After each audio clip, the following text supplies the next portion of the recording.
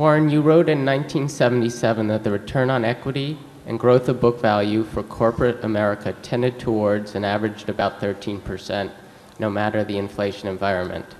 After properly expensing options and so-called non-recurring charges and taking into account the high price earnings ratio paid for increasingly frequent acquisitions, do you think that 13% figure is still roughly correct?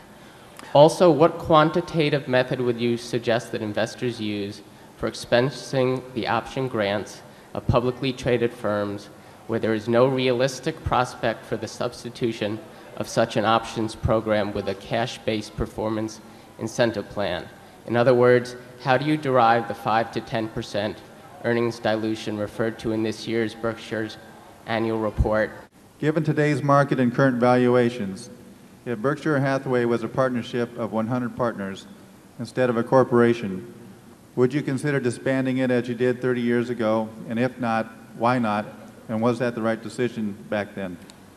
Well, if, if our activities were limited to marketable securities and I had less than 100 partners uh, and we were operating with this kind of money so that, that there was a real limitation on what we could do, I would, I would simply tell the partners and let them make the decision. That would be easy enough.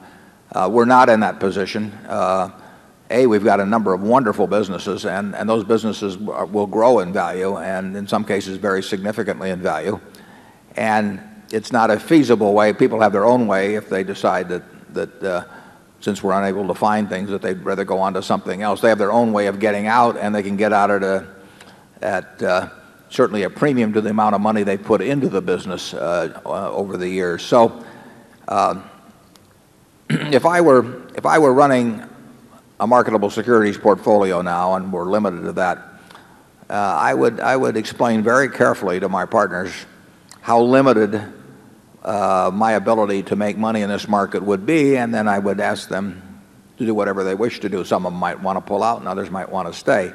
In the 1969 period when I closed up, uh, A, I had a somewhat similar situation in terms of finding things, and B, I really felt that the expectations of people had been so raised by the experience we'd had over the previous 13 years that, that it, made me very uncomfortable uh, and I felt unable to, to, to dampen those um, expectations.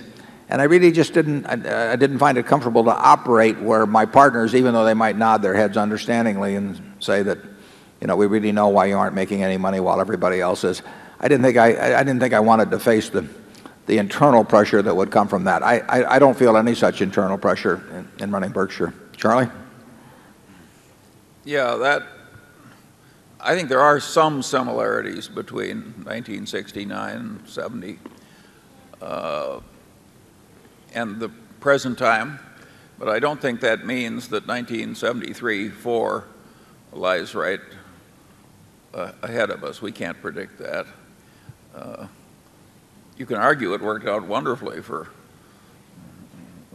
Warren to quit in 69 and then have 73-4 to, uh, to come into with his powder dry. Uh, I don't think we're likely to be quite that fortunate again. Yeah, it was a long time from 69 though to 73. I mean, it, it, it sounds easy looking back, but it, but uh, the Nifty 50, as you may remember, sort of hit their peak in, in 72. So uh, although there was a sinking spell for a while in that 69-70 period, uh, the market came back very strong. But you know that, that's that's part of the game. I mean, it stayed cheap a long time um, in the 70, from the 73 period on, and you will find waves of optimism and pessimism, and uh, they'll never be exactly like they were before, but, but they will come in some, some form or other. Um, that, does not mean we're sitting around with a bunch of cash because we expect stocks to go down, though. We, keep looking for things. We're looking for things right now.